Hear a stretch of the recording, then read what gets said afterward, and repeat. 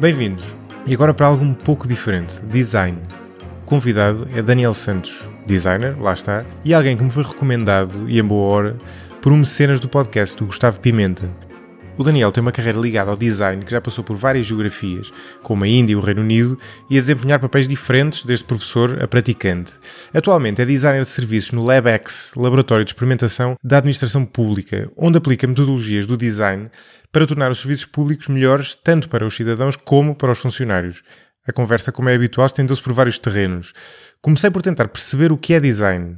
Acho que todos os leigos, como eu, tendem a associá-lo intuitivamente à estética. Mas como vamos ver, é muito mais do que isso. E falamos também de alguns exemplos do design com que nos cruzamos no dia a dia, exemplos tão simples como o tipo de letra que escolhemos para escrever um texto no computador. E a letra Arial, descobri há pouco tempo, tem muito má fama entre os designers. De seguida, discutimos alguns dos princípios do design, como o conceito de modelos mentais, que significa na prática a maneira como o utilizador de um produto ou do serviço interpreta na sua mente e representa a realidade e a situação em que aquele produto ou serviço é utilizado. Ora, para um designer é essencial conhecer o modelo mental do utilizador, porque só assim pode assegurar que esse utilizador vai entender e beneficiar das características que o designer tenta incluir naquele produto. O problema, ou o desafio, associado aos modelos mentais, é que estes variam muito entre pessoas, seja pelas experiências e backgrounds de cada um, seja, sobretudo, quando estamos a falar de culturas diferentes ou de países diferentes. Conversámos ainda sobre a área de trabalho do convidado, design de serviços, uma área muito centrada na funcionalidade e, portanto, onde este conceito de modelos mentais é essencial. Finalmente, falámos de outro conceito-chave do design, este, um que se tem tornado quase uma moda no mundo da gestão, e adulterado QB pelo caminho, o design thinking, ou seja, algo como pensar como no design. A utilidade da abordagem do design para a gestão de empresas e de organizações é fácil de entender. O design, na essência, o que faz é tentar encontrar soluções para problemas práticos. Portanto, as interseções entre isto e o objetivo de uma empresa, que é melhorar a proposta de valor para os clientes, são fáceis de descobrir. O que é especial no método do design é que, por ter de lidar com objetos e tipos de utilizador muito variados, tem mesmo de utilizar o trabalho colaborativo e equipas multidisciplinares e também ter uma grande atenção às necessidades reais dos utilizadores. Ora, trazer estes métodos para dentro de uma empresa, se for bem feito, pode, ter uma, pode, pode ser uma grande ajuda para encontrar soluções inovadoras. E pronto, vamos à conversa. Deixo-vos com Daniel Santos.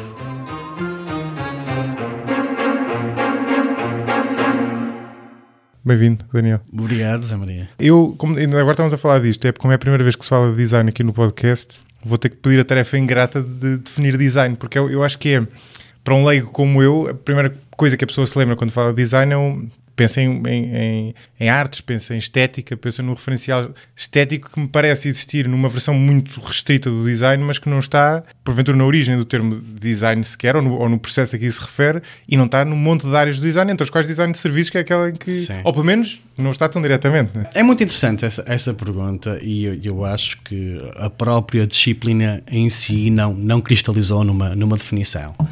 Um, e eu acho que é interessante porque uh, nunca ninguém, se eu fosse um contabilista, provavelmente tu não começarias a conversa por perguntar uh, qual é, Daniel, qual é a definição Sim, de contabilidade. Claro. Ou de economia, Sim ou de direito, ou até mesmo de arquitetura. Aí eu acho que tem a ver com a maturidade da própria disciplina e com as percepções, os arquétipos que as pessoas constroem à volta da disciplina, que é como tu disseste, uhum. à volta da estética, à, à, volta das coisas bonitas ou com valor estético. Uma pessoa que define design como não é a dimensão visual, não é como parece, não é como se sente, é como funciona. Uhum. Uh, e foi Steve Jobs que diz: Design is not how it feels like, how it looks like is how it works. A palavra design vem do latim, então etim, latim, apesar de ser uma palavra inglesa, tem, tem etimologia no latim e tem a palavra signo no, no, no meio. Por isso há uma parte de codificação clara uh, quando falamos de design. Isso é o mas qual, qual, é o étimo da palavra? É signo e o de... Designare. Ah, ou seja, é dar um... Signo, sim, estar, sim. sim. Mas no sentido de signo, no sentido de sinal ou no sentido No de... sentido de representação, representação. codificação, okay. uh, no sentido também de um, se nós formos mesmo à etimologia da palavra, é out of ordinary, é algo que Ok. uh, sai do ordinário e é uma, uma representação, uma codificação do, do ordinário. E quando nós falamos em inglês, também é muito interessante porque as palavras e os verbos, muitas vezes em inglês, e é uma das características da língua, podem ser substantivos e verbos ao mesmo tempo, a mesma palavra, sim. não é? E como o substantivo, os significados são muito, são muito semelhantes. Ah, mas como o, substantivo, substantivo pode ser projeto, pode ser engenho, pode ser até plano, pode ser ah, diagrama de uma, uma descrição visual, e como verbo é projetar, planear. Portanto, tem muito a ver com esta ideia de disciplina projetual.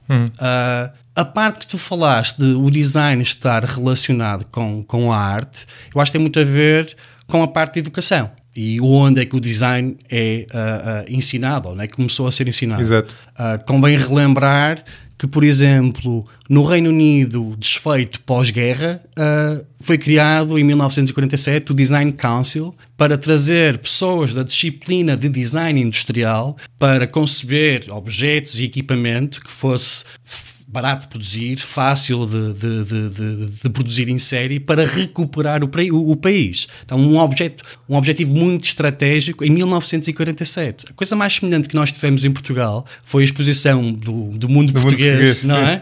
Ah, de 1940, acho eu. Ah, e, e o design, desde essa altura até 1974, creio, ah, que foi quando houve, foi sempre uma disciplina informal. Só em 1974 é que há o primeiro curso superior na Faculdade de Belas Artes ah, de Lisboa, ou do Porto, ou em ambas. Ah, alguém que estará a ouvir poderá corrigir, mas sei que foi em 1974, porque os primeiros professores das, das Faculdades de Belas Artes de Design são dessa fornada. Ahm, portanto, é muito recente a disciplina. E voltando, voltando à parábola que fiz com, com- com o contabilista, ninguém vai pedir ah, ah, a um contabilista para definir a disciplina de contabilidade, porque toda a gente tem, está aculturada. Há uma, há uma, há uma, há uma, uma experiência social com quando é que nós precisamos de um, conta- de um contabilista ah, relacionado com a função e o propósito e o que é que ele entrega. Intuitivamente também parece ter que ver com o facto de o trabalho de um contabilista ter sobretudo que ver com o objeto daquele trabalho, é, é quase dá para definir pelo objeto do trabalho, enquanto o, tra-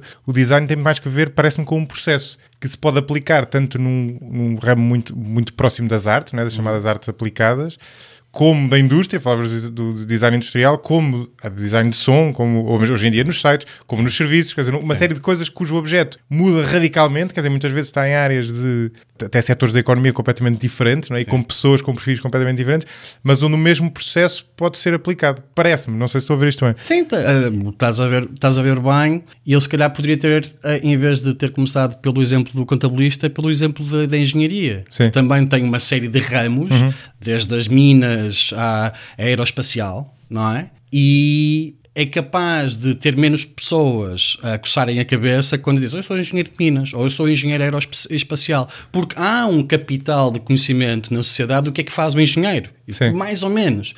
E enquanto dizer eu sou designer de equipamento, eu sou designer têxtil, eu sou designer industrial, eu sou designer de serviços, eu sou designer de comunicação, eu sou designer de, estra- de estratégia.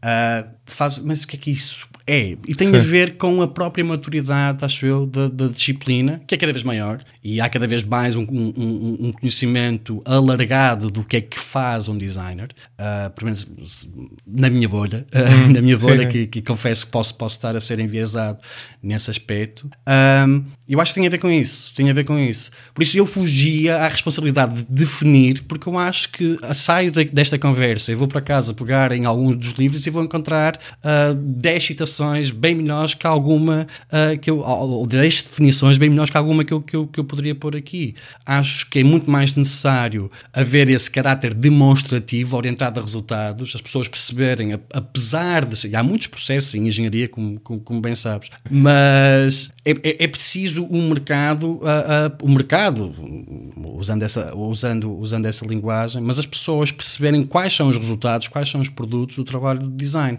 Porque as pessoas, quando percebem, ou há, se calhar, o, o arquétipo da, da, percepção, o, o, o- o preconceito da percepção das pessoas, é, é muito superficial, é, ou é de fazer as coisas bonitas, é a percepção associada ao valor que o design traz. Ah, se tiver design é mais caro, ou são produtos mais uh, uh, exclusivos. Isso é muito interessante, mas não deixa de ser muito, um conhecimento muito, ou uma abordagem muito superficial ao design. Porque, por exemplo, se nós formos ver até, e agora relacionando com a arte, a arte renascentista tem monte de lógica matemática na composição do, dos quadros. O número de Fibonacci, o Golden Circle, não é? Uhum. A, a, toda a proporcionalidade. A tipografia, a a tipografia, se nós estivermos a falar da tipografia romana, que é um tipo de tipografia, uh, tem também uma lógica muito. vai beber essa arquitetura clássica ou neoclássica e tem as mesmas proporções. Sim. Um jornal bem paginado, e agora falando da parte uh, mais, mais, visual, a relação entre elementos tipográficos e, e, e, visuais é tão ou mais harmoniosa quanto mais matemática for nesse sentido. E um, um, um olhos treinados são capazes olhar para aquilo e perceber as proporções. Olhos não treinados olham para aquilo, não percebem as, as proporções, mas percebem a dimensão da harmonia. Isto Sim. parece mais não, não, harmonioso. O que estás a dizer faz todo sentido. E, aliás, é uma das, um argumento que eu acho que faz sentido invocar quando se fala de design é que a oposição estética-funcionalidade eu não acho que seja completamente fictícia, mas é, mas é pelo menos em larga medida, medida fictícia, porque a estética, como, como estavas a, a, aludir, a estética é uma espécie de, de heurística para para uma certa funcionalidade. Ou seja, as coisas que nos, não nos parecem bonitas por acaso, não é? Parecem porque muitas vezes têm, uma, têm as proporções certas, ou têm o. Claro que, o, que a construção estética depois vai, vai, muito para além disso, e muitas vezes até a própria estética pode ser construída pela inversão dessa harmonia, não é? Exatamente. Se tiver isso como referencial, mas há uma. As duas coisas estão mais ou menos casadas. O, o, as duas coisas têm algum grau Sim. de relação e acho que o design tem um bocadinho a ver com isso, ou seja, de muitas vezes, esse exemplo do jornal que davas é um exemplo interessante, não é? muitas vezes a boa paginação no sentido da bonita paginação também é boa paginação no sentido de facilitar a leitura e de, de terem si mesmo um objetivo fun funcional, né? Exatamente, e, e convém não, esque não esquecer que esta proporção matemática, as divinas proporções que, que, estava a falar, é a imitação do homem da, das proporções que são encontradas na natureza. Na natureza. Então essa sensação de harmonia, uh, e espero não, não, não, estar, não estar aqui a fazer uma lapaliçada, mas esta, essa, essa dimensão uh, uh, de harmonia é, é, um, é quase como reconectar o homem às proporções naturais que, onde ele se sente seguro, estável, confortável, mas via um processo altamente abstrato não é? e altamente racionalizado e estudado. Sim, e é, é engraçado, por exemplo, estava, estava agora a lembrar-me de uma coisa que estávamos a falar em off, da questão, estávamos a falar um bocadinho de biologia e da, e da, de, de, muitas vezes as pessoas escolherem como, como parceiro pessoas que têm uma, por exemplo, uma, uma genética compatível por ser diferenciada e outra das coisas que, que, estão, que estão mais ou menos comprovadas é, é, por exemplo, a simetria da cara é, é, uma espécie de proxy, é uma espécie de heurística inconsciente para, é uma espécie, é estética, ou seja, nós achamos, tendemos a achar mais bonitas pessoas com uma cara simétrica, mas aquilo é uma heurística, imperfeita obviamente, mas, é, mas não deixa de ser uma heurística para é, quão saudável é aquela pessoa. Exatamente. Não, o, que é, o que é engraçado. Mas ainda, ainda assim, deixa-me só insistir aqui um bocadinho mais nesta parte da estética, porque eu, eu acho que é interessante uh, uh, seja, escavar isso um bocadinho mais sendo tu designer. Tu, tu há bocado deste o exemplo da engenharia. É verdade, mas tu pensares numa casa, uh, quando, entra, quando na casa entra uma componente estética, já não é o papel do engenheiro, já será o papel do arquiteto ou da arquiteta. Uhum. É, ou no, do designer de interiores. Ou do designer de interiores, Sim. se for no, o, o, relativo ao interior. Obviamente que tudo isto se sobrepõe entre, entre o arquiteto e o designer de interiores, haverá porventura alguma luta. Mas um, ainda assim, o que acontece no, no, no design no sentido que a maior parte das pessoas lhe atribui, julgo eu, é que estas coisas muitas vezes estão misturadas, ou seja, muitas vezes para quem está a ver, parece que, sei lá, se vires uma peça do Philip Stark, por exemplo, parece uhum. que, que a estética ali está a sobrepor à funcionalidade. Ou seja, esta ligação que nós estamos. Há aquele exemplo clássico daquele espremedor de laranja que nem, que nem funciona bem, não é? Sim. Ou seja, ali um, não, não é como o arquiteto e o engenheiro, ali parece que está algures no meio e de vez em quando, no caso do design de serviços, por exemplo, claramente depende, depende mais para o, depende sobretudo para o lado funcional e de, e de ligação ao utilizador ou, ou ligação ao ao cidadão, enquanto que no, ali há um terreno muito mais cinzento, não é? Essa, a, a, a parte estética, tu, achas que as pessoas quando atribuem ao design, sobretudo um valor estético, estão erradas, no fundo? Estão a ver a coisa da maneira errada? Não, eu não, não, não acho, acho, acho, um, acho que é é, é a superfície, não é? é? É a superfície, é a primeira camada. Um, e a maneira como nós. Eu ligo muito isso aos, aos, aos, sentidos. Não vamos entrar na conversa quantos sentidos é que temos, porque são, são, mais, são mais que cinco, não é? Mas, mas, mas vamos ficar pelos cinco. E quando nós estamos num, num, espaço, a nossa relação com o espaço, qual é a primeira coisa que tu te perguntas quando estás num espaço? Se calhar nós, neste seres civilizados e, e a viver em, em, em, cidades, provavelmente não temos essa relação intrínseca. Mas se estivermos num sítio que não conhecemos, fora de uma zona de conforto, a nossa primeira relação é é seguro, uhum, não é claro, seguro. Claro, claro, claro. Um, depois da segurança vem o sentido provavelmente de, de, orientação. O que é que eu posso fazer aqui? O que é que, o que, é que há aqui para mim? O que é que... Um, então, e nós vamos depois aprofundando e, e, racionalizando a partir desse primeiro estímulo que são sempre os nossos sensores, não é? Com, então, o nosso cérebro, eu não sei ao certo a proporção, mas tem muito mais receptores uh, para o sentido da visão do que para, por exemplo, o sentido do olfato, uhum. o sentido do, do, do, paladar.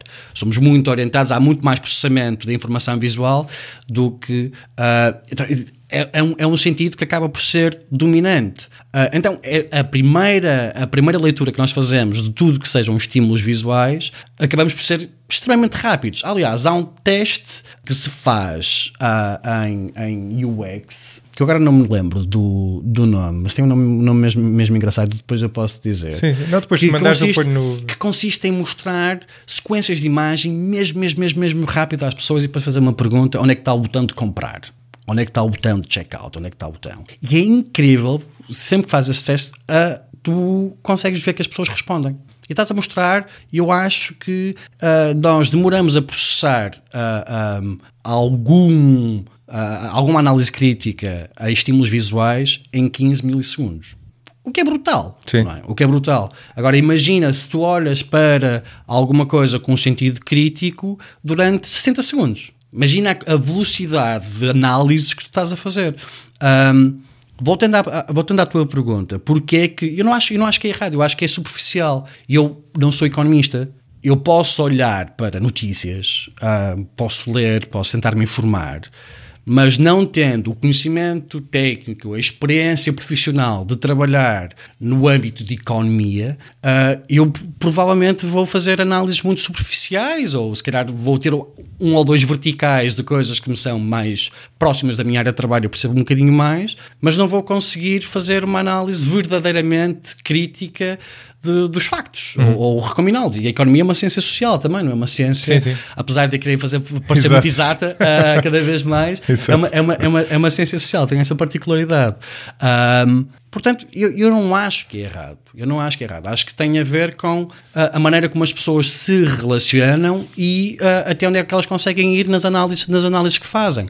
E, mas percebo porque é que, eu, porque é que o dizes percebo porque é que o dizes e acho que há uma certa fragilidade uh, formal, se calhar, dos designers ao, ao reagirem defensivamente quando alguém diz: opá, mas isso é feio. Uhum. Uh, eu, se me disserem, mas isso é feio, e eu, e eu provavelmente nunca, nunca iria expor um, um, trabalho e perguntar: gostas, não gostas? Porque acho que é uma péssima pergunta para se fazer. Uhum. Uh, ou gostas, não gostas? Lá está, porque estás a convidar a uma análise superficial. Um, acho que tem tudo a ver com as perguntas que fazes, o contexto em que mostras o teu trabalho e o objetivo de mostrar o teu trabalho a quem. Sim. Uh, então, mas deixa-me pegar então num, num, exemplo concreto que é capaz sim. de ser giro para concretizarmos aquilo que estamos a falar. Imagina um, um site, sei lá, imagina um site de um jornal, por exemplo. Hum. Qual é o papel do designer? Este é um caso sim. muito específico, quer dizer, de um tipo de designer muito específico. Um, e depois já, já vamos ao, ao, design de serviço, que é, que é, que é a tua área atual. Mas imagina um, um, um designer atuar sobre um jornal. Uh, o que, o que é que ele faz ali que porventura escapa ao leigo que visita o jornal? Ou seja, qual, qual é, a, o, o, qual é a função deles? O, o, que me parece é ser lá está uma pessoa que vai muito para lá da estética, ou seja, do quão Sim. bonito é o site, tem muito que ver com a interação do utilizador com aquele Sim. site, não é? Sim. Lá está, agora, agora voltando à tua primeira pergunta da definição. Hum. Uh, ele organiza a informação. Da mesma forma que um designer de equipamento uh, que se desenha uma cadeira e há um certo fetiche uh, dos designers de equipamento por cadeiras. São é, objetos, é. são objetos, são objetos de. E ele, ele aí organiza requisitos materiais, uh, funcionais uh, heurísticos também, ergonómicos. Então, um designer de um jornal e aqui o jornal online, no caso, ele vai organizar informação de acordo com parâmetros que, um, ele pesquisou, tem acesso a dados, sabe quando é que as pessoas leem o jornal, que tipo de leitor é, é que há, ele vai organizar e vai criar aquilo que é chamado hoje em dia de design system, ou seja, que é uma série de regras que incluem da tipografia, ao tipo de botões, ao tipo de, de, de, cores, que, que é o sistema de design que depois é suposto ser replicado em todas as páginas, de forma a criar consistência, a, a criar a, a, a, coesão, as pessoas por exemplo, de não navegarem para outra página e pensarem que saíram do jornal porque as coisas parecem bizarramente diferentes. Então, o papel do jornal aí é o papel do, do designer de um jornal online é organizar informação, é definir as regras com, com, com qual. Porque é, é, o tipo de informação que aparece no jornal, a não ser que haja peças especiais de infográficos ou de documentários interativos, não há de ser diametralmente oposta de um artigo para o uhum. outro, não é? Sim. Uh, é conteúdo uh, hipertextual. E o hipertexto são imagens, vídeos, uh, sons, texto. Eu no outro dia estava a ouvir uma, uma entrevista com um designer no, no, no, olha, no outro podcast português, que é o Sobretudo, e ele estava. Uh, e o entrevistado estava, estava a insurgir-se, eu achei engraçado porque ele estava a insurgir-se contra a utilização de, de tipo letra Arial. Hum. Ele dizia que era uma espécie de. Eu já, já, não com o Arial, mas, mas não sou inteiramente insensível a, a, isso, é o tipo de coisa que a pessoa depois não. repara. Sim. Mas eu não pude deixar de, de pensar que. Quer dizer, que base é que existe para dizer que isso é errado? Que a Arial é errada. Sim, ou que, que, que é, ou que é preguiçoso. É? Até poderá ser, mas, mas porque é um tipo de letra diferente, é? no caso. Eu não sei se tu partilhas de opinião, atenção. Tu. Ah, eu, eu essa é, é um debate longo, é? uh, muito longo, e, e, e, normalmente do outro lado do ringue está a Helvética. Uh, que são... Era mais antiga a Helvética, não é? A Helvética é mais antiga, creio que é dos anos 50. Um, é uma fonte extremamente bem desenhada, uh, do ponto de vista formal um, do ponto de vista da relação entre uh, os traços finos e traços grossos, em relação entre as curvas fechadas, curvas abertas, caixa alta, caixa baixa, é extremamente bem desenhada. E é bem desenhada por duas coisas que é isto que as pessoas, uh, e ao dizer bem, estou aqui a trazer um, um, adjetivos e substantivos da ética, da estética, o bom e o bem, isto, isto, muitas vezes não é claro. Sim. É bem desenhada porque funciona, porque é legível, porque cansa menos as pessoas na, na leitura, e isso mede-se. Uma pessoa com uma formação média lê 200 palavras uh, uh, por minuto, cerca de 200 palavras por minuto. E é possível medir a fadiga das pessoas a lerem textos. Arial que é muito parecida com a Helvética. Há quem uhum. defenda que foi um, um rip-off da Helvética feito pela. Uh, eu não sei, eu, eu, acho que não foi feito pela, pela, pela Microsoft, uhum. mas a Microsoft é que tornou a Arial popular com, com o Windows, porque era uma das fontes que, vinha, que vinha com, com o Windows. E era a fonte por defeito, não é? E era fonte por defeito numa série. Numa série. E, e, e, é quase como. Há um canal no, no Reddit. Há um que eu, que eu gosto muito que é o oddly satisfying, que são coisas, são GIFs que são mesmo, tu ficas ali a ver o loop, uhum. uh, vezes 50 e, e sabe mesmo bem. E depois há um oposto que é. Oddly uh, unsatisfying. Há uma, sim, há uma coisa que corre mal e que dá mesmo vontade de, de, de, parar. E há uma animação muito conhecida de alguém que fez, tipo, quando estás naquelas máquinas, de, e fez uma série de exemplos uh, de alguém a tirar uma bola de basquete e a bola bate no, num ponto do ar, bate no ponto do outro, bate novamente e depois sai tu pensas, estás, ficas sempre naquela expectativa, ela vai entrar e depois Exato. não, ela cai fora. Ou então aquelas máquinas de vending machine que têm aquela espécie de espiral que empurra uh, o, o, os produtos que estão na, na, hum. máquina de venda automática e depois o produto está a cair e fica preso a meio. Então, a Arial é isso. a Arial tem. É, é, é isso, é, é, é, é, insatisfatoriamente irritante, porque tem uma série de. Agora, eu, mais uma vez, eu acho que isso. Um, podemos ir pelo lado funcional e de facto testar, uh, pôr o mesmo texto, com o mesmo espaçamento entre linha e perguntar às pessoas se elas sentem-se mais, mais fadiga com Arial. Eu não sei se algum estudo desse, desse foi sim, feito. Há de haver, há de haver. Há, há de haver, mas, mas tenho quase a certeza que é por aí que se injura. Não há nenhuma implicação. Uh, por exemplo, outra fonte que há uma implicação, outra tipografia que há uma implicação, a clássica, é Comic Sans. Uhum. Porque é mesmo mal desenhada. Sim. Acontece que há um público, mal desenhada para quem? Quando é que nós falamos, quando nós falamos de mal desenhada, nós temos que pensar, mas para quem? Em que contexto? Porque é muito difícil o one fits all, não é? O, Uhum. os- os- o, o desafio universal de design de servir para toda a gente a todo momento é um bocado uma narrativa ah, perigosa, ah, ah, para, para dizer o, o mínimo. A Comic Sans foram estudos feitos com pessoas com ah, dislexia e provou-se que a Comic Sans é altamente eficaz para as pessoas com dislexia. Ou seja, elas não comem sílabas, elas não saltam linhas, não saltam palavras. Precisamente por tornar a leitura mais lenta, provavelmente, não é?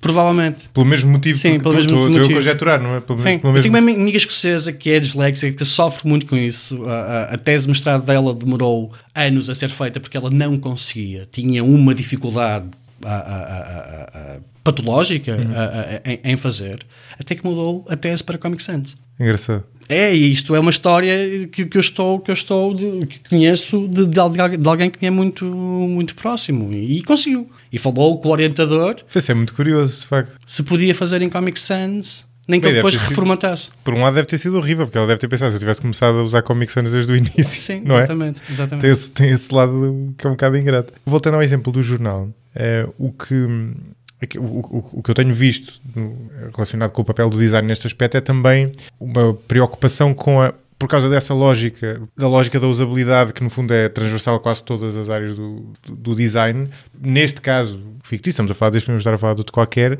também acaba por trazer para, para, para a equação uma série de fatores que podiam não estar ali relacionados com. eh, eu acho que isto são- são- é jargão do meio que eu domino pouco, mas a questão da interação com o utilizador, aquela questão dos modelos mentais, que tu provavelmente explicas melhor do que eu. Sim. O que, é que são, o que- que é que são estes termos e de que forma é que eles não existem, por exemplo, noutras áreas, ou não existiriam se não tivesse lá o. o, o- ou não, não existem fora do raciocínio do designer, se quiser. Os modelos mentais têm a ver ahm, com os pressupostos que nós temos em relação à coisa. Ahm, Nós, o utilizador daquele. nós, as pessoas, o, o utilizamos. Ah, pressupostos, preconceitos, que mais uma vez, ah, se nós formos ao início da, da conversa, estávamos a falar de biologia, Sim. ah, se nós estivéssemos sempre a processar toda a informação ao nosso lado e não usássemos preconceitos, se o nosso, se o nosso cérebro. decidir, claro. exatamente, se Sim. o nosso cérebro já é o, o órgão que mais energia gasta, seria provavelmente e biologicamente impossível, não é? Então há aqui atalhos, não é? Que nós, que nós usamos. E os modelos mentais estão muito ligados com, esse, com esses atalhos, com esses pressupostos, que nós, com, essa, com, com essa relação.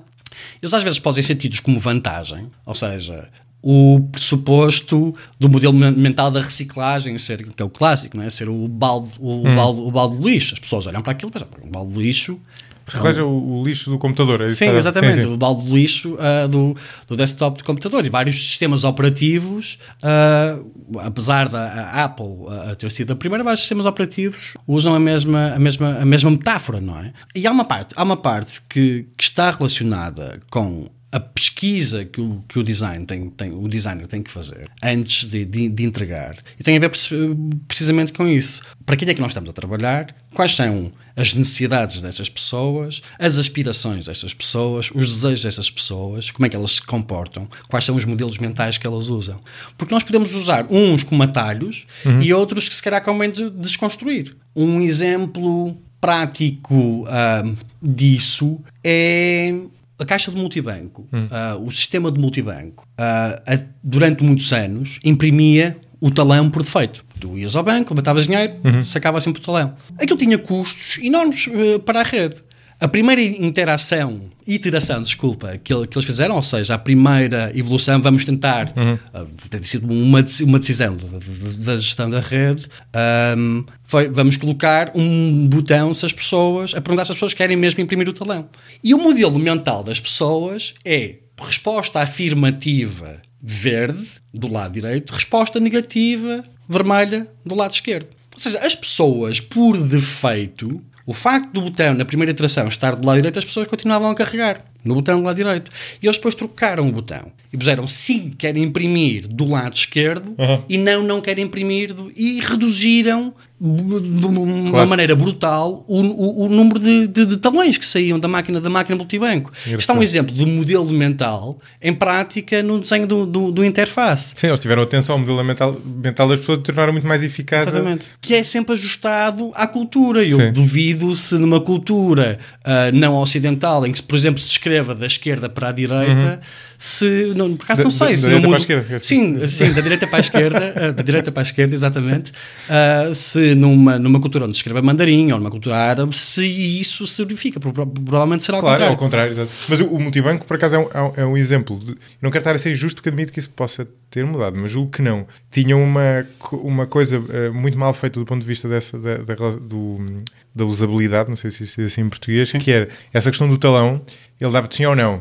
Mas havia, outro, havia outra, outra, outro evento alternativo que era quando ele não tinha sequer talão, não tinha Exato. sequer talão para te oferecer Exato. e perguntava: tu quer levantar na mesma ou não quer? Exato. E o que eu fazia sempre é que eu pedia sempre, não, não, não pedia talão, não é? Para, para que estar a usar papel quando não, não Exato. precisava daquilo. E na direita passava a estar o não, não quero levantar dinheiro. Então ele Exatamente. revertia. a- eu tinha, Exatamente. tinha que pôr o cartão outra vez e estar a ter, porque o reflexo condicionado a fazer aquilo e funcionava ao contrário. Um, mas o exemplo dos modelos mentais é giro. Por exemplo, um que eu lem- lembrei-me logo disso, não sei quem é que falou disso uma vez, mas achei muita piada. Pegando outra vez no, no exemplo dos computadores, eh, tu há bocado estavas a falar do, do, do lixo, não é? do Recycle Bin, e- e é outra, outra, outra opção que também faz uso do modelo mental é a questão do, do guardar. Sim. Eh, o a opção de guardar. Sim. Qualquer documento. Na em muitas aplicações, em muitos programas, eh, o guardar tem o símbolo de uma disquete Sim. Que correspondia ao modelo mental que é o teu, que é o meu, ainda, em certo sim. sentido, mas já não é o das gerações novas. Se calhar nem conhecem, nunca viram uma disquete à frente. Para Exatamente. eles aquilo é o símbolo de guardar, provavelmente, não é? sim, que é sim. giro, não é? Ou seja, Sim. é um modelo que acabou por se tornar obsoleto e não houve uma, uma atualização daquilo, não é? Sim, propriamente também se calhar nunca viram pastas de arquivo, não é? Ah, de papel. Sim, exato, ah, exato, é? exato, sim, sim. Ah, e é interessante, mas aí eles se calhar já aprenderam, não como um modelo mental, mas como uma linguagem Exato, sim. Uhum. icónica do, do- da- daquele computador. E há outra coisa gira, Ou daquele interface, aliás. que eu imagino que seja um desafio para, para, para os designers de várias áreas, que é eh, há um há um argumento que, que pode largamente ser feito a propósito disto, que é adapta o que estás a fazer ao modelo mental do, do utilizador.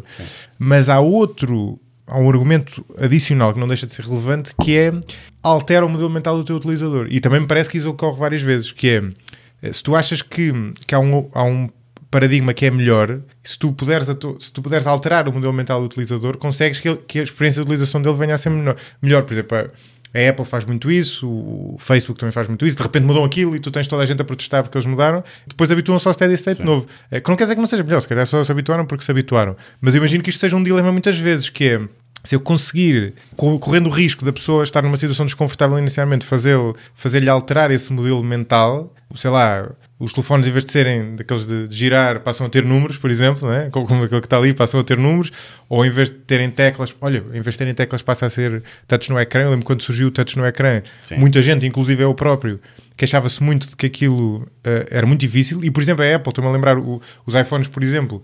Eu lembro quando os iPhones surgiram com o teclado eh, idêntico ao do computador. Sim. Eh, Eu lembro de protestar com aquilo porque estava habituado àqueles teclados de, da- da Nokia, não é? Ah, normais, exatamente. que achava muito melhor e achava aquilo uma perda de tempo, não é? Sim. Porque eu queria carregar no, no T e carregava no R, ou tua carregava no, e no entanto o meu modelo mental depois Sim. uh, um, foi alterado, foi forçado a ser alterado e convergiu para um steady state que se calhar era melhor do que aquele. Eu acho que há aí duas coisas muito interessantes no que tu dizes. Um tem a ver com a força do hábito e a, a curva de aprendizagem que tu pões numa coisa, Sim. e depois queres, queres o, benefício de teres investido nisso. Ah, voltando àquele telefone Sim. que está ali, que é o telefone daqueles antigos de discar, é assim que se diz? Ah, Acho de- que era, pois era, exato. discar, pelo menos em português brasileiro ou de, ou de, de rodar. Era discar, era, já não vi essa há muito tempo. Eu quase que aposto, ou- e se alguém tiver um estudo, partilhe, que se dermos este telefone a uma geração mais nova, a crianças, e dissermos marca um número 93, qualquer coisa, eles vão carregar no. no- não, não vão rodar, não vão Claro, perceber, claro, não vão perceber isso.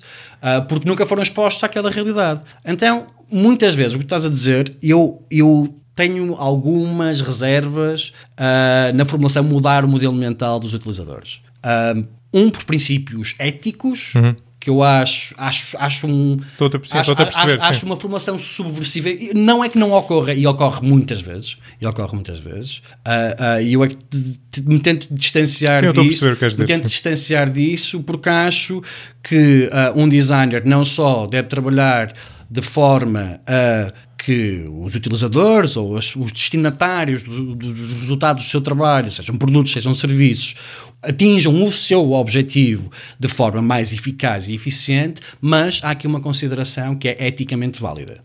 E nós vivemos numa altura em que se também pela, pela aceleração que temos tido a nível de inovação tecnológica e mudanças de comportamento social e das, das dinâmicas uh, político-económicas, não sei, uh, o, o, quadro é tão vasto se nós olharmos para isto, em que acho que nós temos cada vez mais, como profissionais, independentemente de sermos designers, eu não estou a reclamar que preocupações éticas são preocupações sim, sim. Uh, exclusivas do design, mas têm que ser preocupações obrigatórias para um, um designer. Voltando à tua pergunta da uh, se devemos promover, nós devemos promover uh, jornadas de utilização, uma experiência de utilização que esteja ligada às necessidades intrínsecas que podem ser uh, uh, estudadas, comportamento, o comportamento dos utilizadores pode ser estudado.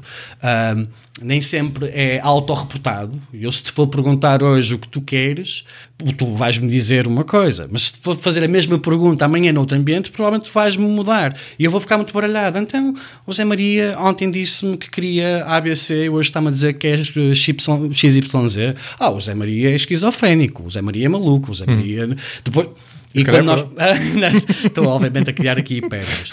Quando se eu for observar se for observar uh, uh, nesse ambiente em que uh, respondes à minha pergunta, se calhar o teu comportamento vai ser muito mais consistente do que aquilo que tu reportas. Quero com isto dizer o quê? Se nós, é, é a importância da pesquisa a importância de não aceder, aceder ceder, provavelmente é a hum. palavra certa, a agendas de decisões empresariais, de querer, de querer eh, provavelmente ter mais lucro ou acelerar o número de utilizadores ou ter mais utilizadores, de métricas um, meramente de, de gestão do, do, negócio e pensar nas pessoas. Mas eu aqui, atenção, eu aqui falava Claro, eu sou, são casos que eu imagino que para um designer, como para qualquer pessoa que trabalha numa Sim. empresa, uh, uh, haverá muitas situações em que, em que se vê um bocado entre a espada e a parede, não é? por, por, por estar a fazer uma coisa que pode não ser necessariamente melhor para o, para o utilizador. Mas aquilo que eu falava é algo que é, é melhor para o utilizador mas não é melhor de imediato. Por exemplo, ocorreu-me outro exemplo, entretanto, quando estavas a falar, que é bom até para fazer ponto para o design dos serviços, um, que é um, um, exemplo que eu achei muito interessante na altura, que foi quando os hipermercados, acho que o continente foi o primeiro a fazer isso, começaram a criar aquela história da, da fila única. Uhum. E eu lembro-me das pessoas protestarem imenso com aquilo. aquilo. Para mim, eu não sei qual é a tua visão em relação a isso, para mim, desde o início foi evidente que aquilo era melhor, porque é muito fácil tu veres a quantidade de ineficiências que existem em teres 50 uhum. filas, vai, se calhar um bocadinho exagero, mas 20 ou, ou 30 Sim. filas num hipermercado grande. Ou seja, obviamente, corredores do ponto de vista de gestão assim. de operações, quer dizer, Sim. Eh, qualquer pessoa percebe que é muito Sim. mais fácil ter uma fila que depois alimenta as outras, mas as pessoas reagiram muito àquilo inicialmente. Hoje em dia julgo que não. Ou seja, lá está, hoje em dia julgo que estamos num steady state, para continuar a usar esta expressão, melhor do que aquele. Ou seja, para os utilizadores foi melhor, Sim. mas implicou fazer uma coisa que, que lhes foi desagradável de início, ou seja, que provocou reações contra inicialmente. Porque tem a ver com a reação à mudança e a percepção de usabilidade. Exato, ou seja, tu tens uma percepção de usabilidade de algo que não experimentaste e se isto for a primeira vez, ou seja, tu não tens nenhum património de experiência que possas fazer uma comparação. É a primeira vez que estás a comer a uh, comida do, do surubati. Então, para ti, tu vais para lá de cabeça aberta. Uh, se calhar até já comeste. Mas, não, mas comida de quê? Uh, do suribati. Ah, não, não. Uh, vais para lá de cabeça aberta. Pensei no, no, no, nome do país mais exótico, exótico que me podia lembrar. Vais para lá de cabeça aberta. Mas se tu já tiveres algum património de experiência, tu já tens modelos mentais, já tens pressupostos. Então, a tua percepção de fila nos supermercados, que era tenho quatro 5 pessoas à frente, passas a ter 20, mas enquanto tu tinhas 4, 5 pessoas à frente para uma única caixa, tu passas a ter agora 20 pessoas e 20 caixas disponíveis. Claro. Mas a tua percepção é agora tenho uma fila muito maior e tenho que esperar mais tempo, mas na prática não tens que esperar mais tempo. Então a submissão das pessoas, submissão, eh, as pessoas experimentarem esse novo modelo organizacional da fila do supermercado e perceberem que é mais rápido. Eu por acaso não tenho, como vivo no centro de Lisboa e vivia no centro de Manchester e vivia no centro de Mumbai, já não tem experiência de supermercado há, há, hipermercado uhum. há muito tempo e os supermercados de bairro ainda têm claro, um modelo. Eu tenho, uso muito aquelas filas de self-checkout. É? Exato. Uh, que ainda, que ainda me parece a maneira mais rápida de sair do supermercado com o meu objetivo uh, se com, forem poucas compras, uh, claro. se forem poucas compras, obviamente. Portanto, eu acho que tem a ver com isso, com a, a, a, a usabilidade percepcionada versus a experiência uh, vivenciada. E eles tendem a, a serem uh, ou confirmados,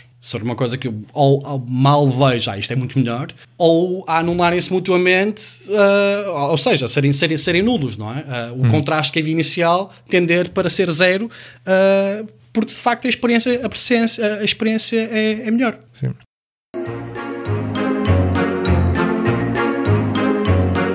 Olá, gostam do podcast?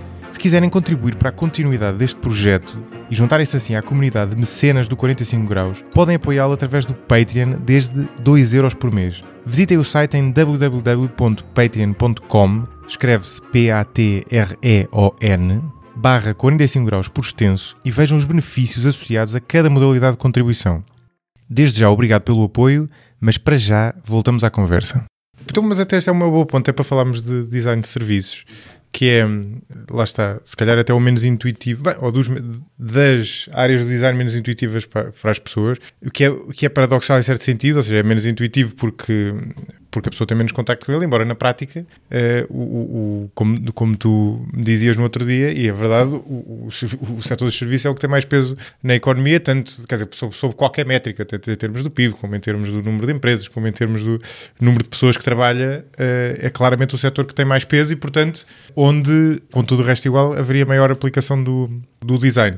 Aqui, se calhar o mais fácil é até pedir para explicar isso, o que é que, o que, é, que é específico do design dos serviços que diferencia da, das outras áreas. No fundo, trata-se, é, é, a lógica é idêntica no sentido em que tu tens alguém que utiliza aquele serviço, uma entidade que o presta né, e trata-se ou de, várias ou várias né, e, e, e, quer dizer sobretudo da parte de quem utiliza vários de certeza e trata-se de tu tentares fazer a, maior, a melhor intermediação entre os, entre os dois, não é? Mas há de ter Sim. uma série de especificidades, não é? Sim, é, é mesmo. Eu acho, eu acho que é, é do caso, uh, dentro dos ramos de design, que é mais. Um, autoexplicativo. É um bocado, uhum. a fazer aqui uma tradução de um estrangeirismo, sim. não sei se haverá uma não, mas acho que é assim. É, sim, sim. Uh, uh, melhor. Que, o que é, que é design de serviços? É o design de serviços. Uhum. Um, e o que é que é um serviço? Se calhar a, a, a, pergunta também vai, vai um pouco por aí. Ou o que é que é uh, o design de, de, serviços? Sabendo que economias maduras ocidentais, uh, uh,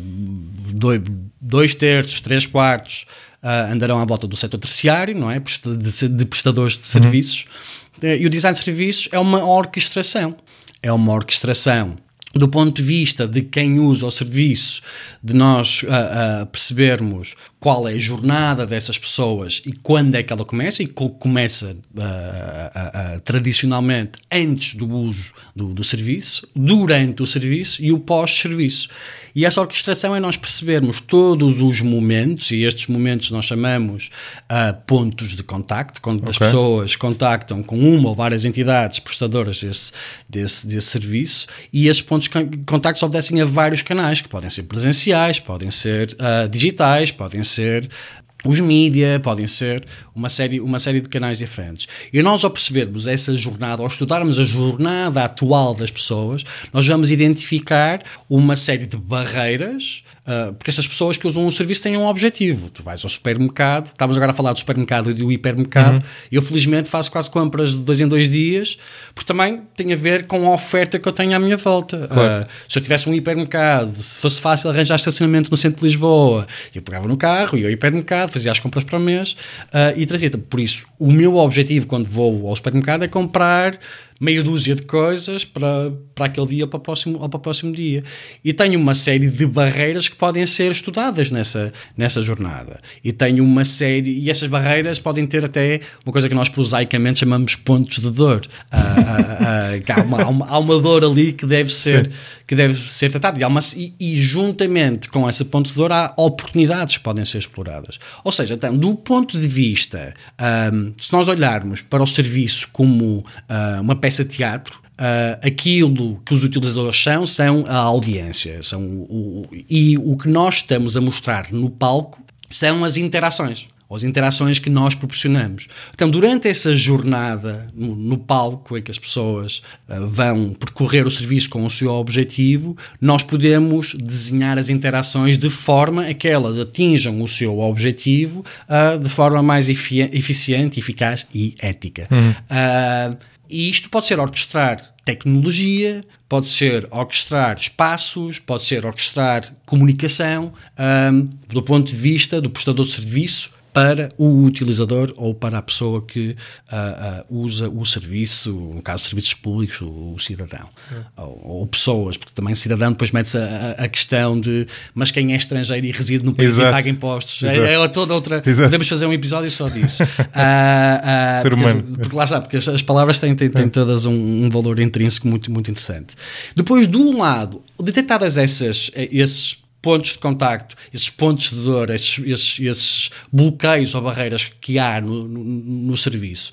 E para nós podermos proporcionar uma melhor experiência, uma experiência que seja mais eficiente, que vai fazer que essa, que essa pessoa regresse ao serviço e volte a utilizar, ou até após utilizar o serviço, recomenda a outros amigos, faz isto, ah, se tens o mesmo objetivo que eu, que eu utilizo este serviço. Do lado dos bastidores do palco, nós temos a organização que, ou a entidade que é o fornecedor de serviço e toda a sua estrutura de, de, de fornecedores. Então aí nós vamos fazer uma, uma espécie de engenharia de processos, vamos uh, melhorar os processos dentro da própria organização para que a peça que sai cá para fora corresponda às necessidades, uhum. às expectativas e obedeça ao comportamento que é, que é documentado. Então, daí a metáfora, mais uma vez, do, do uma arte cénica de orquestração. É a orquestração de tecnologia, de processos, de pessoas, entidades, organizações, tendo, em ponto, tendo como ponto, como building block, como uh, uh, alicerce é a jornada que uh, uh, o utilizador ou vários utilizadores tipo fazem com o nosso serviço. Se te lembrares, era giro dar-me um exemplo, acho até para quem ouve, para tornar mais sim, concreto, de, de quer dizer, o exemplo com, com, o qual tenha estado envolvido ou não, sim. em que tenha, feito, tenha sido feita justamente uma melhoria dessa interação do, do utilizador em conclusão desse processo, né? de, de perceber, o, no fundo, pegando essa analogia do teatro entre, entre quem está no palco e quem está na audiência, percebendo o que é que podia ser melhorado e, e de que forma é que a interação com o utilizador melhorou em consequência é. disso. Há milhares de casos e, e, por mais estranho que pareça, às vezes são, são incrementos muito pequenos que sim. são feitos. Há, há, muito da ciência comportamental, chamam-lhe nudges, um hum. toquezinho Exato, que, sim, sim, sim. Que, que, que, são é os dado, nudges, sim, sim, uh, que é dado. Uh, nós tivemos. E faz todo sentido, na verdade, que seja assim. Sim. Nós tivemos, nós tivemos uh, uh, recentemente a testar protótipos num, num, serviço público em que, na zona de atendimento, foi documentado a nossa pesquisa que as, o, as, pessoas que lá estavam e os funcionários reportavam falta de privacidade, falta. Às vezes eram, são assuntos que são uh, sensíveis de serem tratados, ou o ruído global uh, uh, do ambiente faz com que as pessoas tenham que fazer, falar mais alto ou falar mais alto estão a expor. E se o assunto delicado, se calhar estão um bocadinho tensas e, não é? e o essa, ruído ainda pior. Essa situação. E às vezes as pessoas, só na ansiedade de guardar a vez, vão se aproximando isso. da zona de atendimento. Hoje então, não aconteceu isso, curiosamente. Então, o que nós fizemos e não estou a concretizar a, a, de propósito porque isto é um, é um, é um processo, sim, sim. é um projeto, é um concretizar, ou seja, os nomes e o contexto, mas o que nós fizemos foi colocar fitas no chão, umas com relevo, outras sem relevo, com uma linguagem visual que as pessoas conhecem universalmente, que sei que eram barras de 45 graus pretas e amarelas alternadas, uhum. com 5 centímetros de largura e ficarmos a observar se aquele diâmetro era invadido ou não. E percebemos um, que tivemos um sucesso uh, uh, relativo na, naquela medida. Ou seja, as pessoas já não se acercam tanto. Claro que há aquelas pessoas com um caráter urgente que vão com demonstram uma ansiedade tão grande por, por informação que essas até, até podia pôr lá um muro que eu tenho a certeza que, que, que, que, que, o muro caía. Mas para as outras todas foi clarinho como água e não havia uma única informação logocêntrica, textual, a dizer, por favor, não te espaço. Isto, uh, uh, voltando à nossa conversa inicial, o modelo mental das pessoas é que aquelas barras amarelas e pretas significam não trespassar. Estão habituadas a vê-las nas obras. Claro, claro. Outro, sim, sim. Faz outro, todo outro exemplo de. Isto foi documentado em pesquisa. Hum. Fizemos, fizemos uma pesquisa uh, uh, bastante robusta. Sim, não surgiu do nada, não é? Não, surgiu do uma... nada. O perigo. Há, há uma anedota que o Adam St. John Lawrence, que é um dos principais ativistas desta, desta área, conta, uh, e eu gosto muito de reproduzir porque acho que é, que é sintomático e demonstrativo do problema. Tenho, podíamos, podíamos ficar aqui mais, mais, mais umas horas só a contar anedotas de o problema de não se fazer pesquisa. o problema de se executar e não se perceber qual é o contexto que se está a trabalhar. Um aeroporto grande em, uh, na Alemanha, uh, com uh, departamentos, competentes, departamentos competentes na parte de customer experience, marketing, operações, gestão, manutenção. Então, ter uma reunião porque perceberam que os cidadãos séniores, ou os utilizadores séniores de mais de 60 anos, utilizam, utilizam a casa de banho três vezes mais que os outros utilizadores. Então, eles, eles têm isso medido. Claro. Que já é espetacular, estão a medir, estão a medir os utilizadores que vão à casa de banho e têm dados demográficos que são, pronto, uh, não, não são o melhor tipo de dados para se tirar conclusões, uhum. mas têm dados demográficos. Então fazem uma, fazem uma reunião, pá, olha, o que é que se passa aqui? Porque é que nós temos cidadãos séniores a irem à casa de banho uh, três vezes mais que os outros utilizadores? Ah pá, se calhar eles têm problemas, têm, o corpo já não funciona como, claro. como, como antes, se calhar temos que fazer mais casas de banho diz alguém que temos de fazer mais casas de banho. Ou então, pá, como são cidadãos séniores, temos que uh, uh, criar casas de banho mais, mais acessíveis. Exato, sim, melhores acessos. Né? Ter melhores acessos. Ou então, se calhar, como eles vão lá e também provavelmente ficam lá mais tempo, colocarmos música na casa de banho, música mais alta, para, vá lá, para lhes proporcionar uma experiência mais agradável. Enquanto as reuniões, Zé Maria, já tiveste em que a malta 60 horas de achómetro na linha vermelha a tentar adivinhar o que é que se passa. A equipa do Adam foi chamada como consultores e o que eles fizeram, ok, dei-nos uma semana, nós vamos tentar perceber. E mandou os investigadores deles para a casa bem lavar as mãos durante seis horas, estarem lá a lavar as mãos e sempre que entrava alguém com o perfil descrito uhum. pelos dados que eles tinham recolhido, eles começavam a conversar com eles. Zé, sabes porque é que eles iam para a casa de banho, os cidadãos? os utilizadores do aeroporto, hum. para ouvirem as chamadas do avião. Porque o aeroporto era ah, demasiado ruidoso sim, sim, sim, e eles iam para a casa de banho para tentar, sempre que ouviam, ok, vou à casa de banho tentar perceber se é o meu voo. E este é o, o risco. Sim, sim. E há nós, nós também temos montes, montes de, de, de exemplos. É, é, é, é, este o risco que se corre quando não se, não, não, não se faz pesquisa ou quando se prescreve uma, uma solução sem se perceber uh, para quem é que estamos a trabalhar. Já não quero que vocês façam um map. Mas map porquê? Para quem? Porquê? Também já tivemos uma encomenda dessas. Nós quero que vocês façam um map. E nós fomos ao terreno, fomos perceber o público-alvo, que por acaso até eram menores, hum.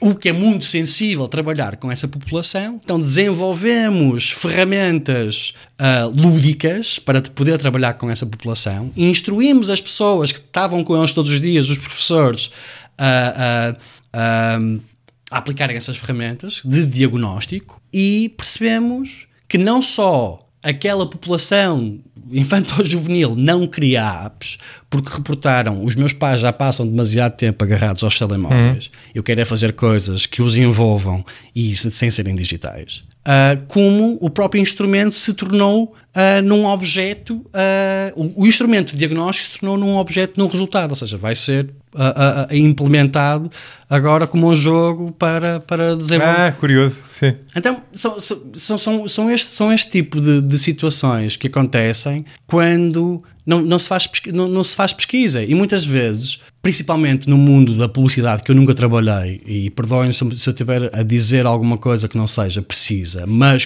conheço muita gente que trabalha. Isso é que é uma prática comum, por exemplo, os concursos, em que estão equipas durante semanas, por vezes, a trabalhar na expectativa de ganhar um concurso, sem, sem serem ressarcidas daquele da, uh, investimento que fazem de tempo. E eu acho que isso é uma das fraquezas do design, é submeter-se a trabalhar dessa forma. Se a mim abordasse, se eu fosse dono de uma empresa e abordasse a minha empresa para participar num concurso, uh, mesmo que o concurso, um, ou o concurso tinha que ser pago, aquele trabalho, e o trabalho que eu teria que fazer não teria que ser numa simulação do, do objeto final do concurso, mas um trabalho de pesquisa. Fazer a pesquisa, o que vocês querem fazer, há estas oportunidades aqui. Claro. Em vez de fazer o artefacto. E há sim. muito essa. Perceber essa, o problema antes de propor a solução. Exatamente. Fundo, e, e, acho que ainda há muito. Por, por, por uh, contingências várias, ainda há muito designer de empresa de design que não tem outra hipótese a não ser navegar o espaço da solução em vez de navegar o espaço do, do problema.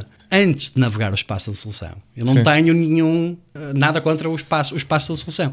E o, voltando à conversa do design de serviços, tem muito a ver com isso. Se nós trabalhamos numa economia de, de, de, de serviços, setor terciário, nós temos que ter equipas multidisciplinares, onde os service designers são apenas mais uns, uhum mas com este foco de entregar o serviço end-to-end, -end, de uma ponta de uma ponta à outra e perceber o end-to-end -end começa antes sequer da utilização do serviço. Isso que tu disse um, é uma ótima ponto para outra coisa que eu queria falar, que é, acho eu, cada vez mais falado no, no mundo da gestão, uh, e eu até esta conversa até tinha um contacto mínimo com isso, entretanto fui, fui ler um bocadinho mais, que é, que é a questão do design thinking, não sei como é que isto hum. traduz em português. Sim. Pensar a, não sei se é pensar a designer ou acho alguma coisa é do género. Um, Dizem muito design thinking, sim, mas, isso é mas, é mas isso é, é, fundar a design. E às vezes é mesmo, às vezes é mesmo design pois, thinking.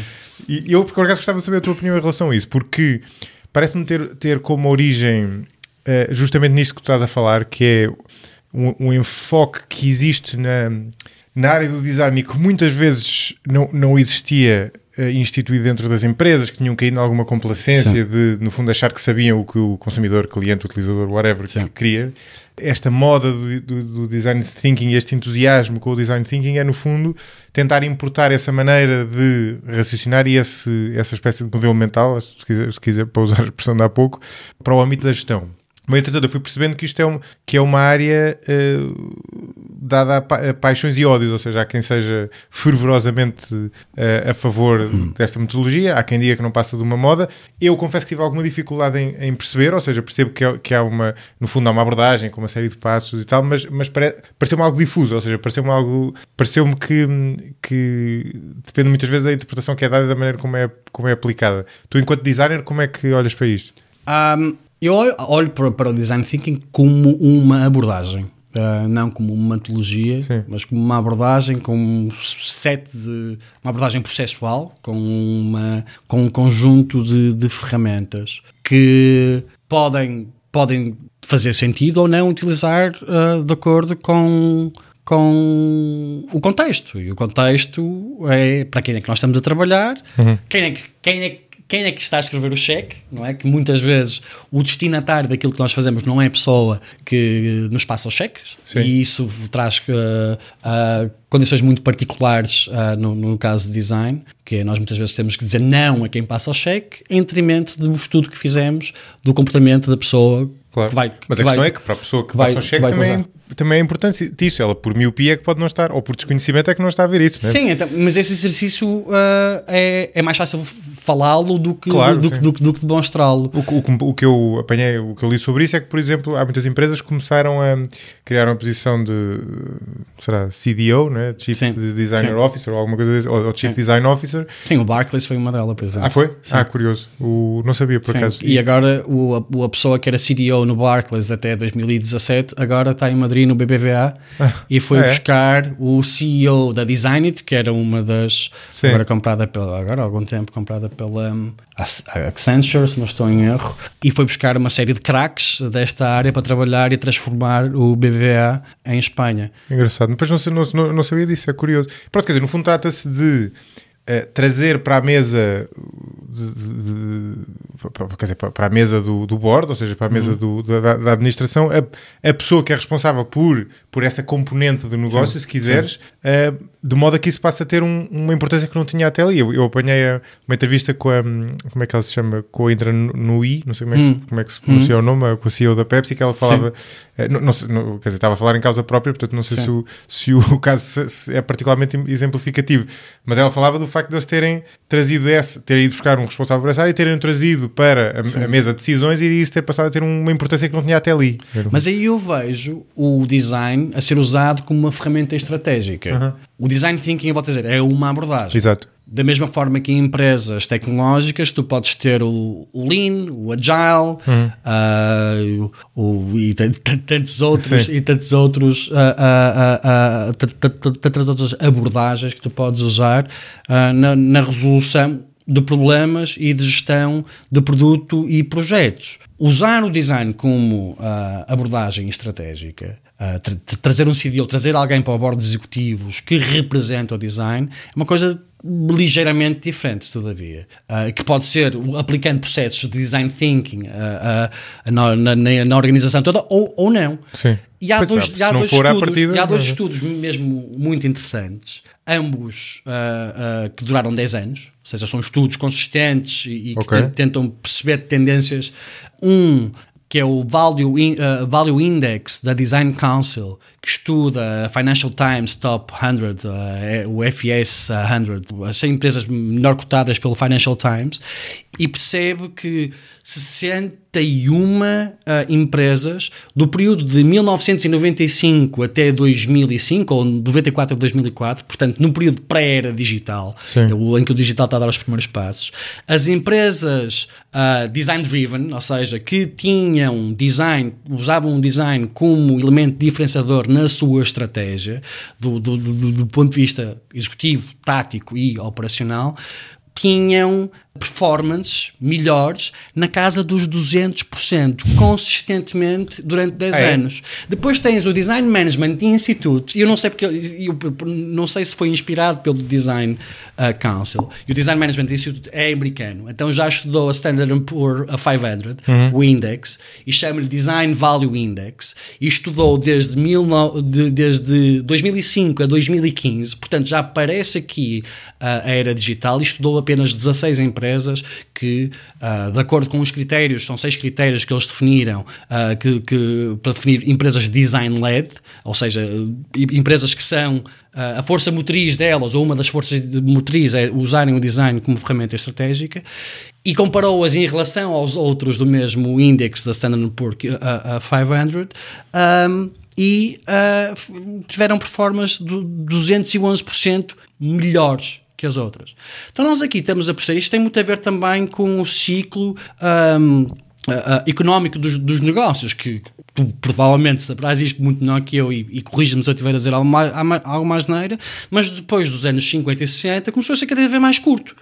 Ou seja, tu ah, até os anos ah, 50, 60, que eram os anos das grandes ah, ah, produção em massa, da- em que tinhas ciclos dos innovators mesmo longos, depois dos, dos followers, não é? Dos, dos, dos primeiros que seguiam relativamente longos, depois tinhas os, os lagers, não é? Exato, Os é. que se atrasavam e quando o mercado ficava saturado, mas era uma coisa mais ou menos pre- previsível. Hoje em dia este ciclo é muito mais longo.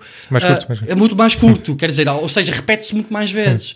E aqui o design, claramente como uma disciplina diferenciadora para trazer inovação, ah, pelo caráter processual que aplica na maneira como se produz valor. Estamos a falar de- agora ah, de, de valor ah, do ponto de vista E pela do compreensão mercado. do utilizador, E pela fundo, é? compreensão do utilizador. Ou seja, redu como, como processo que reduz ineficiências entre a compreensão do utilizador, aquilo que ele faz e Isso. aquilo que as entidades ó, ó, ó, oferecem, torna-se um elemento diferenciador para, pa- para o início da bell curve, para o início dos early adopters e dos, do- dos innovators. Essas coisas não são por acaso tão bem documentadas e temos dois estudos que combinados são 20 anos, provavelmente de- de- na altura em que a economia acelera mais, porque é na altura que a economia começam a entrar as tecnologias digitais e, e- e os grandes, e as grandes empresas tecnológicas, e o design aparece como elemento diferenciador. O design thinking, e voltando à tua, à tua pergunta, é uma, é uma abordagem que tem tido um sucesso relativo, mas não é design estratégico.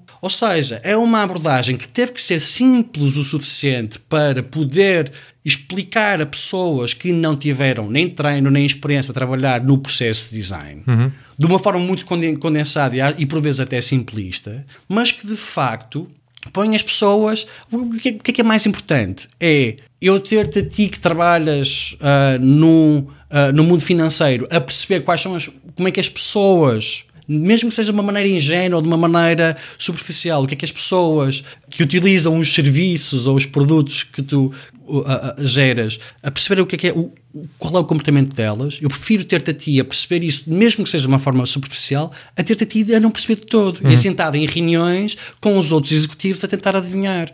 E o design thinking traz essa, traz essa a, a- a capacidade, ou essa promessa, pelo menos. Pois, claro, há modelos de negócio que são criados à volta da comercialização dessa abordagem, em que a vendem como uma espécie de vareta mágica, Claro, claro. em que. E depois é, é- é como aquele sistema de fotocópia, não é? Tu tiras uma fotocópia de uma folha e depois se voltas a cópia de cópia de cópia. Essa é uma boa analogia, por acaso, Não, é? sim. Chegas ao fim e percebo porque é que causa essas reações defensivas, porque de facto há coisas que são muito superficiais e quase que se repetem sem, sem se perceber Claro. o objetivo pelo qual se está. Mas é, mas é uma abordagem extremamente poderosa se tu pensares na rapidez com que consegue mudar modelos mentais.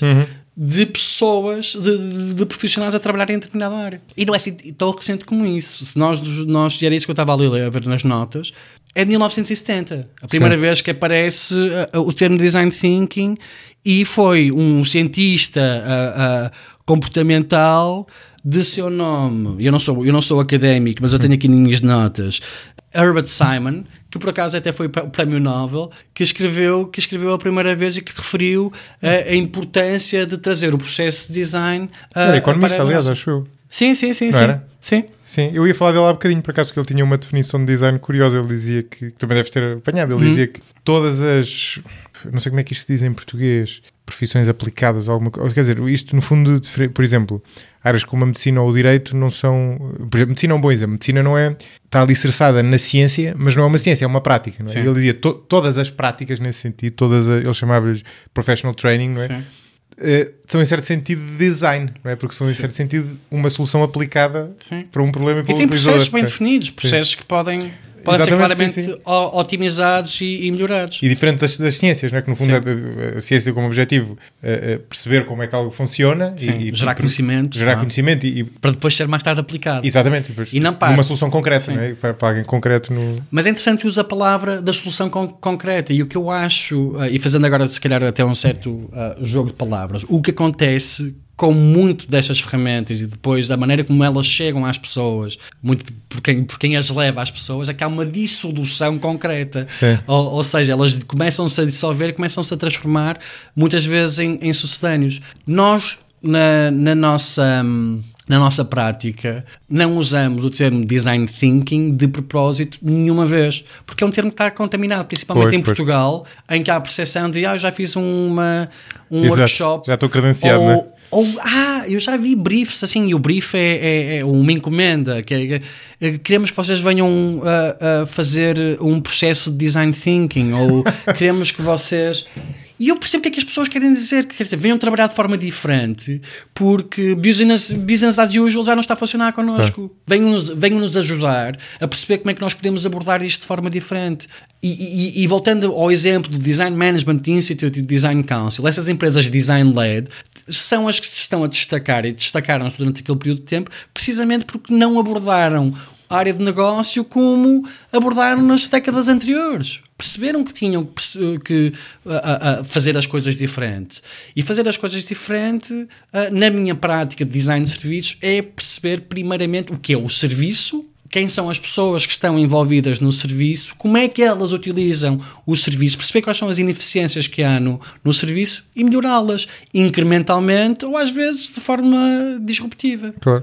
O que me parece, vendo, vendo de fora, mas, mas tendo alguma experiência com, com outras coisas do género, design thinking neste caso não é muito diferente de, de, de outro tipo de coisas aplicadas à gestão, que é sempre, por várias eh, especificidades do, do, do, do setor empresarial, acabam por funcionar de uma maneira que depois entram rapidamente numa caricatura e entram sobretudo acabam por ser vendidas como uma espécie de panaceia, quando na prática, para usar a tua expressão de há pouco, são, são sobretudo nudges, não é? Ou seja, são sobretudo chamadas de atenção para teres mais cuidado em fazer uma coisa de outra forma, Sim. para não te esquecer, é quase uma, muitas vezes é quase uma checklist, é não te esqueceres de fazer isto, não é? Sim. O, ter atenção ou, ou tentar perceber ao máximo o que o, que o utilizador do teu serviço pretende é quase um truísmo em certo sentido. E no entanto, muitas vezes não é feito. Porquê? Porque no meio da voragem de, de- de outras coisas mais, mais eh, iminentes, as pessoas acabam por, por pôr isso de parte. Sim, quem, Um, quem faz, quem, faz, quem faz investigação e tu fazes, por exemplo, para todos os, os episódios e, e preparas-te preparas bem. Quando é que tu sabes que tens que parar? Quando é que tu sabes, olha, já, já tenho, já fiz investigação que, que, que chegue. Boa E eu, eu, eu, eu, eu presumo que não seja fácil. Pois não, pois não. E o mesmo acontece connosco quando estamos em processos de investigação. Ou, ou seja, tu podes estar sempre a, a- a aprofundar e vais sempre encontrar petróleo tipos de diferentes petróleo. Uhum.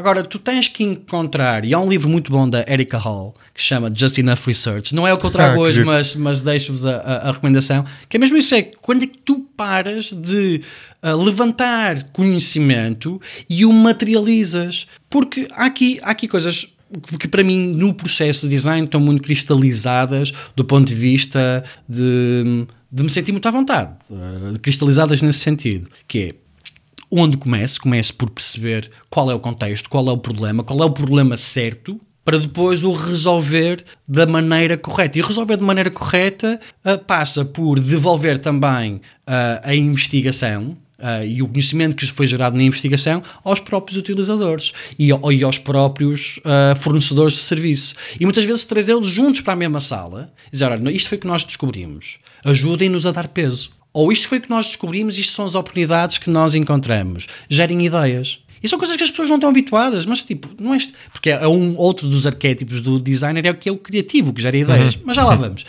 Ajudem-nos a gerar ideias. Mas todas essas ideias são meros exercícios narrativos se não forem materializadas. Uma ideia se- sem ser do papel é só uma ideia. Claro, claro. Tu has de ter 10 pessoas a ler a mesma ideia e terem 10 interpretações diferentes, porque elas trazem, mais uma vez, os seus modelos mentais, as suas experiências, a sua carga. Os seus ah, enviesamentos, não é? e os seus enviesamentos, não é? Por isso é a materialização da ideia e a submissão dessa ideia a teste que é o, o vai ou não vai, não é? Que é o que decide, de facto, a- a- essas coisas. Por isso, quando é que paras? Paras quando tens material suficiente para materializar. Passa a redundância das palavras, Sim. mas quando já tens conhecimento suficiente, quando já levantaste dados e informação suficiente para materializar ah, de alguma forma e testá-lo, porque é isso que vai validar. O que não deve ser fácil também. Não, não, é, não é fácil, exige uma humildade tremenda, porque tu queres. O nosso cérebro hum, é super rápido encontrar soluções. Super rápido. Ah, eu não sei se já tiveste alguma situação em que, se calhar, tarde de noite, estás numa rua que não conheces e vês um grupo de pessoas a vir na tua direção. E tu não queres correr o risco de perceber se naquele passeio estreito se vai correr tudo bem e se as pessoas se vão des- desviar. E tu, há essa análise que fazes ser super rápido e decides se calhar atravessar a rua. Sim, sim. Ou decides entrar em algum lado e deixar. Porque lá está, a primeira, a primeira relação, não me sinto seguro. Ou antecipo que isto não vai correr bem. Sim. E é um processo inconsciente, não é? É um processo Tem a ver com aquela inconsciente. história do. Então é muito, é muito difícil quando tu estás no processo de investigação deparado com problemas, tu, tu controlares o teu cérebro e pá, a solução seria isto. É mesmo difícil. Nós então usamos a, a metáfora do parque de estacionamento, em que estacionamos as ideias que vamos tendo durante o processo de investigação para não deixarmos que isso contamine os restantes passos do processo, que tem a ver, mais uma vez, com a cocriação, em trazer as pessoas que são também os tomadores de serviços e envolvê-los no processo de leitura da informação, geração de ideias, que nem sempre é possível, mas estou a falar, estou a falar do, Sim. dos três passos principais do processo, que têm a ver com investigar, a geração de ideias, a incocriação e depois o teste e a experimentação. Eu se não, eu, se não tiver or- orçamento para fazer as três, eu, eu sei qual é o que eu faço. Eu faço investigação. Eu não vou experimentar soluções sem saber se o problema que eu estou a resolver é correto. Enquanto se eu posso só produzir um relatório, mas em que defino o problema ah, ah, e, e o entrego ao meu cliente e tenho a esperança de, pronto, com o orçamento que ele tinha para me pagar, mas só pode ser que agora consiga internamente ah, implementar a solução ou testar a solução, porque eu já fiz metade do trabalho. E o trabalho mais importante, que é definir o problema corretamente. Mas essa, essa atenção aos nossos enviesamentos é uma coisa que eu achei muito interessante, por acaso. Ou seja, a atenção do, da área do design e, sobretudo, neste, neste ponto de vista do, do processo de, Sim. que, que está associado aos nossos enviesamentos cognitivos é interessante. Isto tu falavas, acho que era a primeira vez que falo disto no, no podcast. Nós temos uma, como tu dizias, nós temos uma, uma ânsia de, de decidir, no sentido de, de decidir, muitas vezes é decidir a nossa opinião sobre. é? Exatamente. Ou seja, nós lidamos muito mal com Incerteza. com incerteza e com manter as coisas no ar. Quer dizer, tu, Sim. tu começas a ler sobre um determinado assunto e rapidamente tu eh, enveredas por uma opinião, A ou B, eh, e depois daí em diante é confirmation bias, não é? Daí em Sim, diante vais sim. procurar aquilo que confirma a tua opinião. Sim. E é muito difícil, tens que. É impossível fazê-lo se não, se não tiveres ativamente esse cuidado, ou alguém o tiver por ti, contrariar essa tendência para, para fazer isso. E, e o design é engraçado porque hum, isso para mim foi relativamente surpreendente. Depois percebi que, que isso permeia o design noutras, noutras vertentes, essa, no fundo, uma atenção à, à- às especificidades da cognição humana, não é? E daí tu há sim. pouco falavas do- dos nudges outra vez, que está muito ligado à, à- à economia comportamental, não é? Do, de, de percebendo os nossos enviesamentos, ir fazendo pequenas correções marginais, Sim. no fundo, para, para olha, pegando aquele exemplo há bocadinho do, da máquina multibanco, aquilo é, aquilo é um NEDS, no Sim, fundo, é sim, dizer, sim, vamos trocar isto, este pe- pequena alteração de repente produz 40, já, não sei quanto é que era, 40% menos Sim, de papel, gasto de papel ou uma coisa qualquer do género. Eh, e isso é interessante, mas porque eu- o, o que eu fico a pensar é de onde é que vem essa ligação da, da, da psicologia, por exemplo, ao, ao- design? É uma coisa que está na origem da. Eu creio.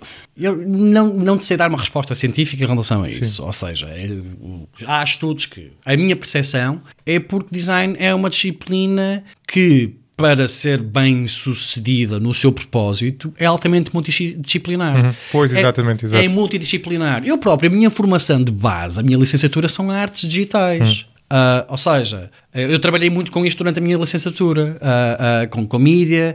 Eu não tenho. A minha formação de design faz-se na indústria, porque eu faço um projeto final de licenciatura, do, do- que era de 5 anos na altura, em que faço um jogo georreferenciado de realidade mista. Era este.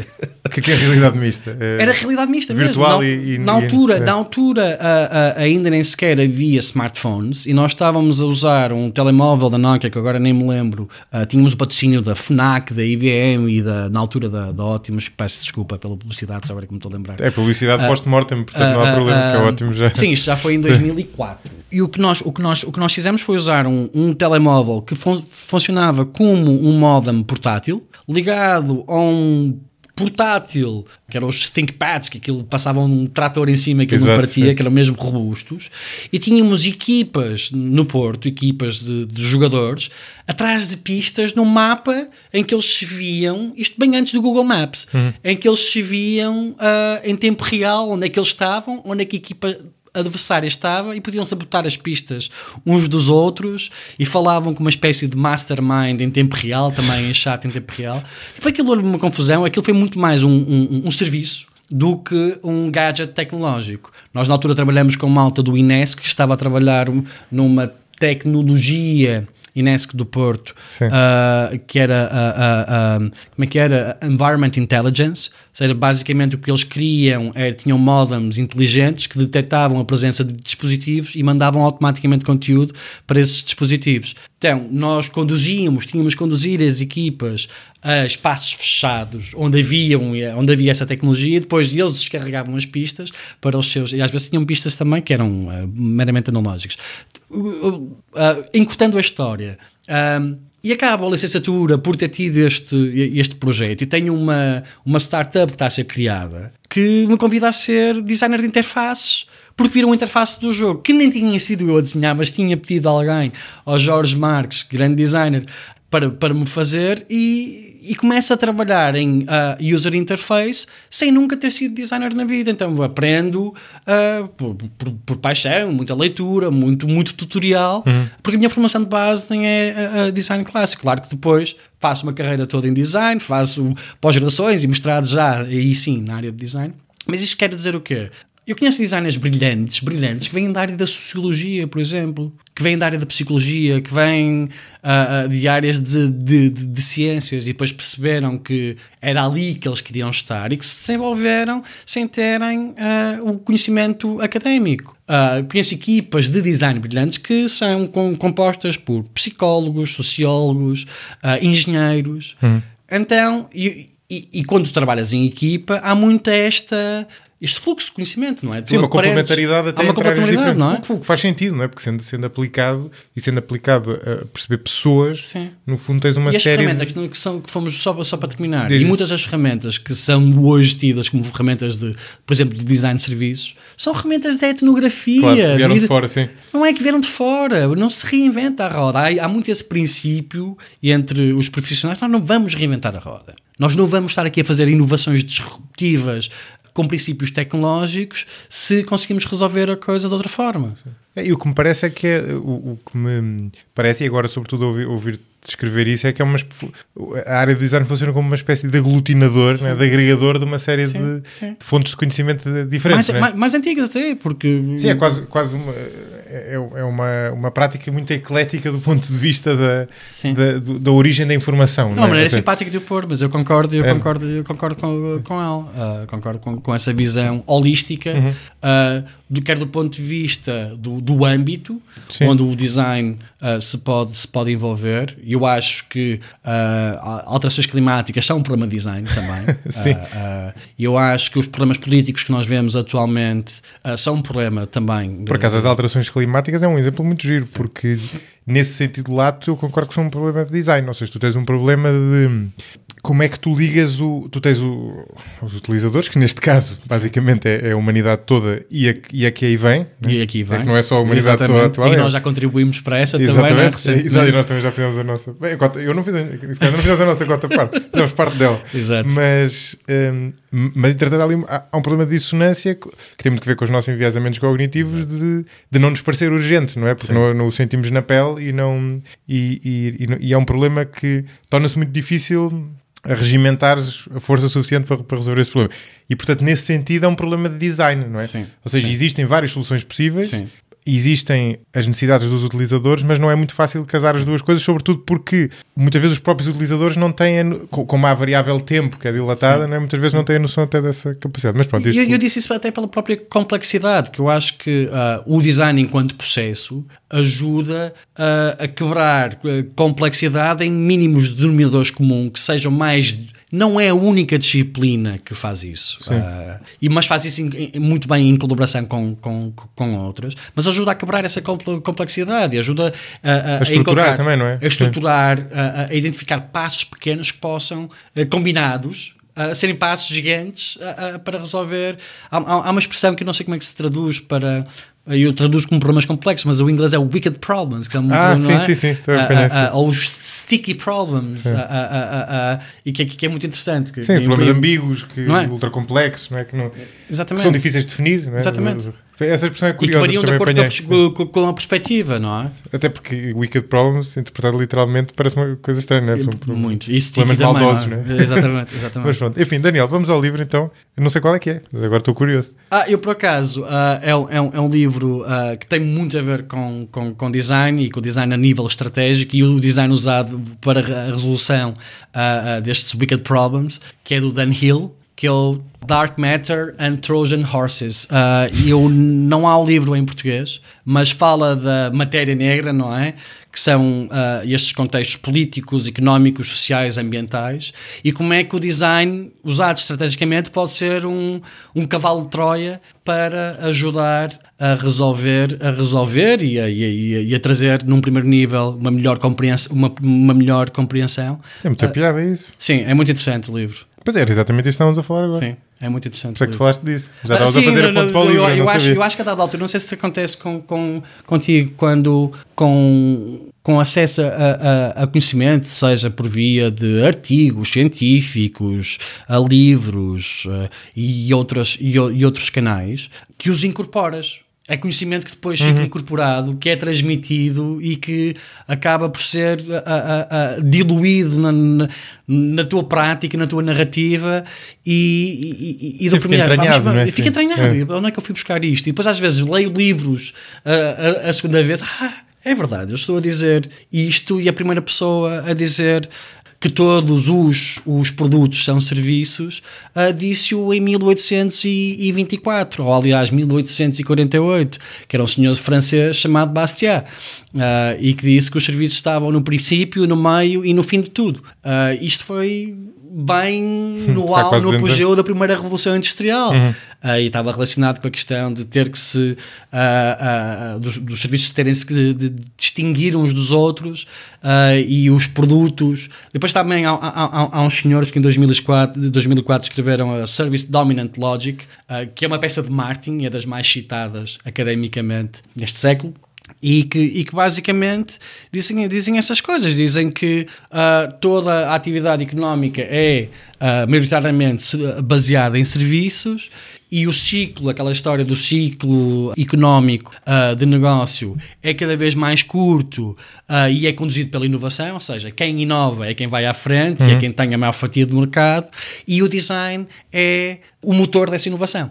Então, essas três, essas três componentes que, que, que é muito interessante. E isso é uh, design utilizado ao nível estratégico. Uh, no, ao nível, numa organização, como todos sabemos, temos o nível estratégico, tático e operacional, e talvez por ser uma disciplina mais recente, Uh, que, por exemplo, a engenharia, o design tem estado relegado para nível operacional de executar Sim, e tático no máximo, e quando temos um gestor, um gestor, a gerir outros designers, que também é gestor, mas tem mais experiência que os outros designers, também é designer, quero dizer, mas como é, tem mais experiência que os outros designers, é promovido claro. à carga de gestor. E muitas vezes perde-se um técnico fabuloso sim, fabuloso sim, sim. Exato, e, e ganha-se um péssimo gestor uh, por causa dessa, de, dessa lógica. Eu imagino que tenha a ver também com alguma coisa que acontece também com, com os recursos humanos e acontecia até pouco tempo com, com o marketing tem a ver com também ter um impacto mais indireto sobre a atividade, não é? A pessoa que gera as finanças da empresa ou a, parte, ou a pessoa que gera a produção Sim. tem um impacto direto sobre a atividade, não é? E muito palpável. Uh, design, os recursos humanos, o marketing, por exemplo, são tudo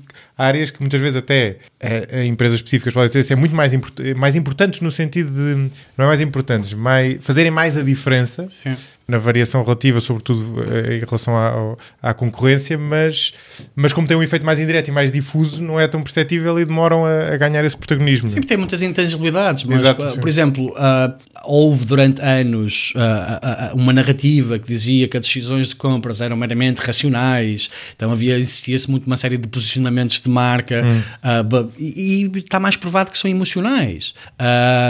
e, e eu percebo. Um, a importância de, de, departamentos financeiros e departamentos de gestão uh, porque têm métricas maduras, bem, bem, bem definidas e, e, e, e, visíveis para toda a organização, percebe que é que são valorizados, mas finalmente está-se a perceber que uh, o design, apesar de ter todas as suas intangibilidades e como é que é dizer linhas, linhas tenues a, a, a, por vezes definir onde é que, onde é que acaba e onde é, e onde, é, e onde é que começa, mas é, por exemplo, a disciplina muito mais do que a, disciplinas financeiras ou, ou, de gestão que traz, traz inovação para dentro das organizações. Hum. Uh, pela própria abordagem processual que tem. Então, são todas necessárias, mas no momento em que é preciso uh, inovar, apresentar um, novas propostas de valor, o design é muito mais essencial do que a disciplina de gestão ou, a, ou disciplinas de engenharia que, tradicionalmente ou de forma clássica, vão estudar como é que se pode escalar os processos e, e aumentar a, a eficiência. Sim.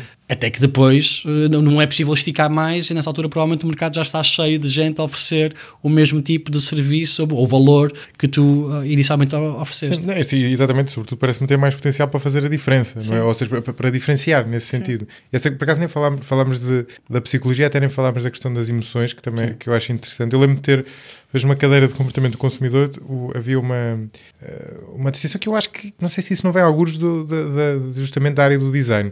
Não sei se isto é familiar, mas tinha que ver com.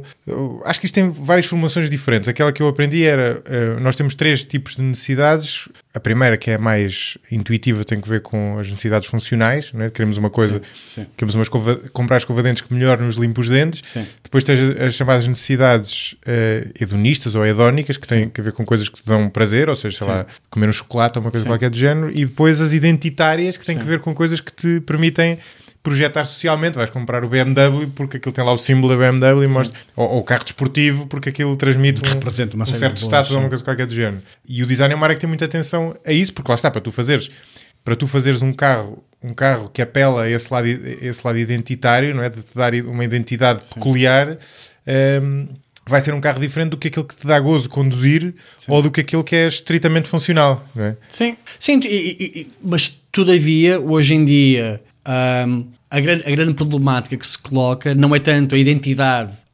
Um, ou criares a tua identidade pelo aquilo que consomes, é uma maneira, estou a pô-la desta forma uh, de propósito, mas se calhar criares a tua identidade daquilo que não consomes. Ou seja, ah, eu sim. se calhar não compro um carro eu por acaso tenho um carro, mas uhum. se, se calhar não compro o carro e utilizo um, um serviço utilitário que me leve de ponto A a ponto B, mas não vou comprar um objeto que 90% do tempo está parado. Claro, claro. Uh, e, e, aí uh, a identidade e a, e a, afirmação pela cadeia de valores está muito mais relacionada com a minha relação com o serviço, que é muito funcional, que é muito utilitária, muito mais do que os valores da marca. Muito, muito mais que uhum. os valores da marca. Uh, da mesma forma, e isto está a acontecer muito por conta da tecnologia, muito por, por conta de uh, as grandes enterprises, as grandes, os grandes uh, corporativos não, não se reinventarem. Depois aparecem estes agentes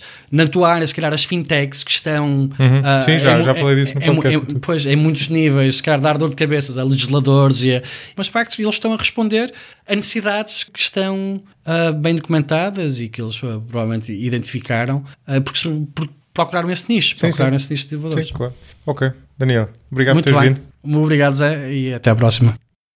Esperem, ainda não acabou. Já depois de gravarmos, o Daniel lembrou-se de outros exemplos de design de serviços de referência, resolveu partilhá-los comigo e eu acho que vale a pena referi-los aqui rapidamente. Um deles é o Revolut, uma empresa que, entre outras coisas, emite um cartão de débito pré-pago, e da qual falei no episódio com o Afonso Essa. O Daniel elogia tanto o processo de pedir o cartão, que é rápido e fácil, como o próprio cuidado que foi dado ao design do cartão e à caixa em que ele nos chega à casa. Um pouco ao estilo do packaging da Apple, que nos faz sentir especiais por termos aquele produto. Outro exemplo na área dos serviços financeiros, neste caso português, é o MBWay, uma aplicação que permite fazer rapidamente e com facilidade uma série de operações bancárias apenas utilizando um telemóvel. Noutro setor, o Citizen M é uma cadeia de hotéis holandesa que opera na Europa e que oferece aos hóspedes uma série de opções muito originais e práticas, desde o self-check-in ao controle completo de todos os artefactos e dispositivos que encontramos no quarto, desde o tipo de chuveiro ao tipo de luzes, à maneira como a televisão está configurada, etc. Finalmente, entre serviços públicos, o Daniel destaca os transportes intermodais do Porto, que são um exemplo de usabilidade, e a linha de saúde 24. Esta última usei ainda recentemente e confirmo que funciona muito bem. Facilita a vida aos utentes e, ao mesmo tempo, alivia as urgências dos hospitais.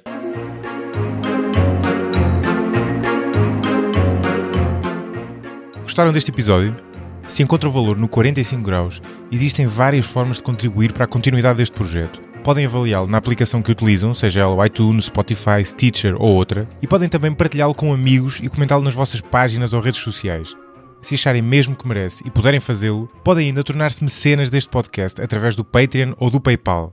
Com esse apoio estão a contribuir para a viabilidade deste projeto, que passa a ser também um bocadinho vosso. Para além disso, obtêm em troca vários benefícios, como por exemplo o acesso ao backstage do podcast e também a possibilidade de sugerir perguntas aos convidados. No fim do dia, já se sabe, são os ouvintes que tornam possível um projeto destes. Ouvintes como Gustavo Pimenta, João Vitor Baltazar, Salvador Cunha, Ana Mateus, Nelson Teodoro, Paulo Ferreira, Duarte Dória, João Castanheira, Tiago Leite, Gonçalo Martins, entre outros mecenas, a quem agradeço e cujos nomes podem encontrar na descrição deste episódio. Até à próxima!